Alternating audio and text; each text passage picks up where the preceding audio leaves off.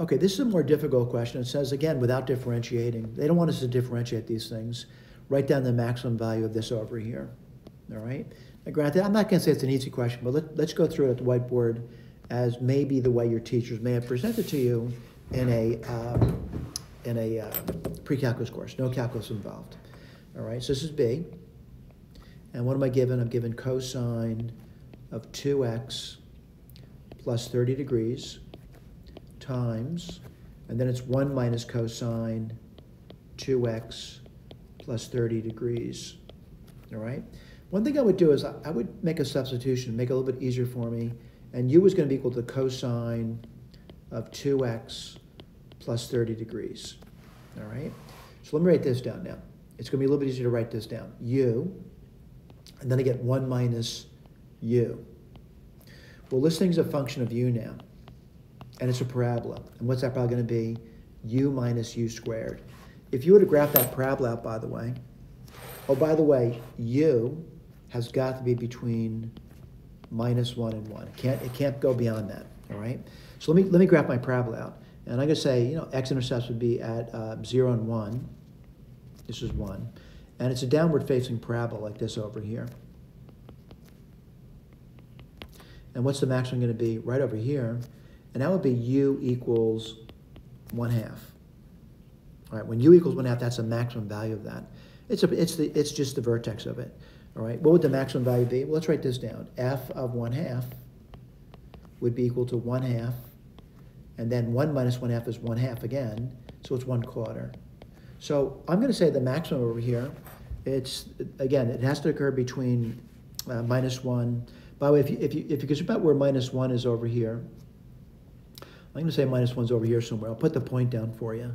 It's, um, you know, minus 1 and this is where 1 is, and this point over here is one, zero. This point is 0, 0.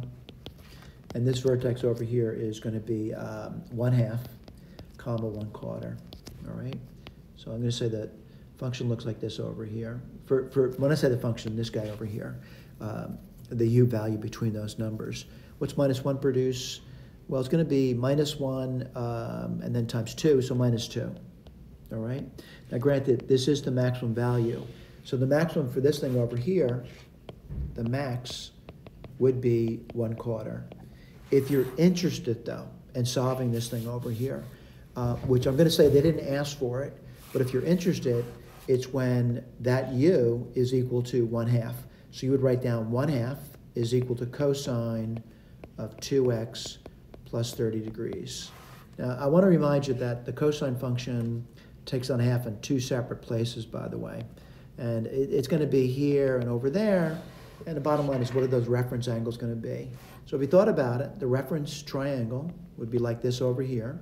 This is cosine, by the way, and that's root 3. And that'd be 60 degrees, all right? So in the first quadrant, I'll write this over here, the 2x plus 30 degrees would equal 60 degrees plus a repetition. The repetition is going to be 360 degree k. Now, if you go to the fourth quadrant, it still has a reference of 60, so it's going to be 2x plus 30. But if you're in the fourth quadrant, over here, by the way, it's 300 degrees plus 360 degree k. Again, they didn't ask you to do this, but I just want to go through it briefly with you. Uh, where do these maximums occur, by the way? It's going to be 2x equals 30 degrees plus 360 degree k. Again, k is some integer number. And let's keep going. 2x is equal to 270 degrees plus 360 degree k. Again, k is an integer. Divide through by, um, by 2, you get 15 degrees plus 180 degree k. And the other one's going to be x equals, well, 2 into one, uh, 270 is 135 degree and plus 180 degree k. And that's when that those maximums occur, by the way. But again, the question is what the maximum? The maximum is a quarter. Thank you.